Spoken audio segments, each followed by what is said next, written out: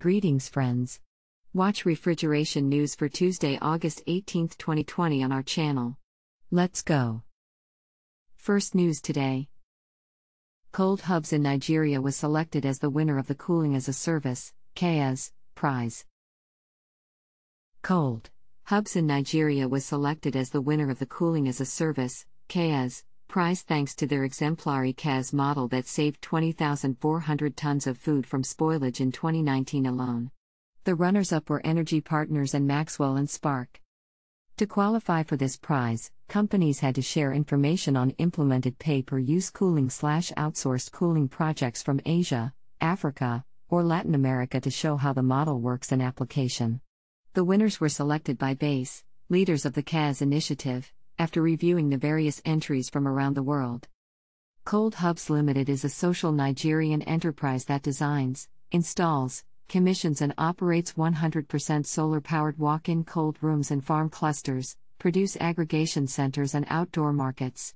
They were selected as the CaaS Prize winner because of their successful pay as you store solar powered walk in cold room system for small scale farmers, demonstrating that this business model has a large potential to make sustainable cooling accessible and competitive. Read more the news on our website today. Second news today. Impact of the COVID 19 pandemic on the European HVACR industry.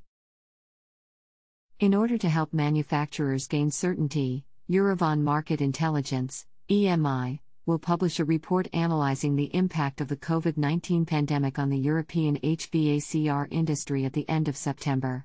The report will include results of a recently launched EMI survey targeting HVACR product manufacturers. The survey runs until September 11, 2020. Interested manufacturers are encouraged to participate. The upcoming EMI report on the COVID 19 impact will include results of an HVACR manufacturer survey, covering 16 European countries and 8 product categories. The survey is divided into four parts.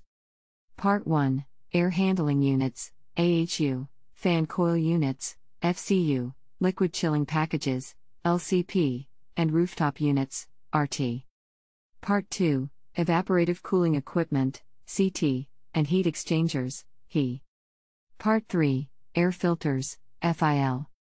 Part 4 Variable Refrigerant Flow Units, VRF. All four parts of the survey can be found in the right sidebar of this article. Interested manufacturers are asked to submit their responses to the survey directly to Eurovent Market Intelligence via statistics at euroventmarketintelligence.eu. Read more the news on our website today. Third news today. Emerson announces departure of Commercial and Residential Solutions Executive President. Emerson announced that Robert T. Sharp, Executive President of its Commercial and Residential Solutions business, is leaving the organization as he pursues new opportunities. Sharp, a member of the Office of the Chief Executive, joined Emerson in 1996. He has served in a wide range of senior corporate and business level leadership roles, including Director of Investor Relations, Vice President of Profit Planning, and President of Europe for Automation Solutions. Sharp most recently served as executive president for Emerson's commercial and residential solutions business since February of 2016.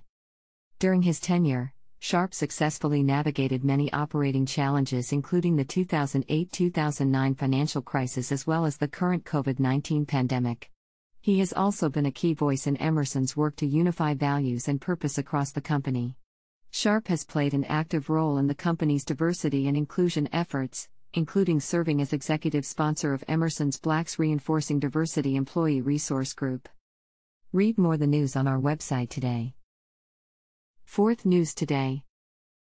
SPX Cooling Technologies introduces SGS brand IEC evaporative condenser.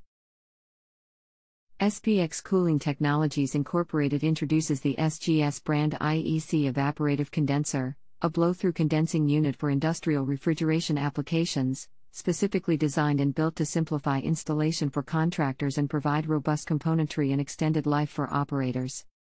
Among the IEC evaporative condenser features that speed installation for contractors are built in spreader bars for simplified crane lifts, self aligning top and bottom modules that require only 4 bolt connections to speed field installation, A header collar that positively seals the connection plate between the casing and header pipe, virtually eliminating the potential for leaks.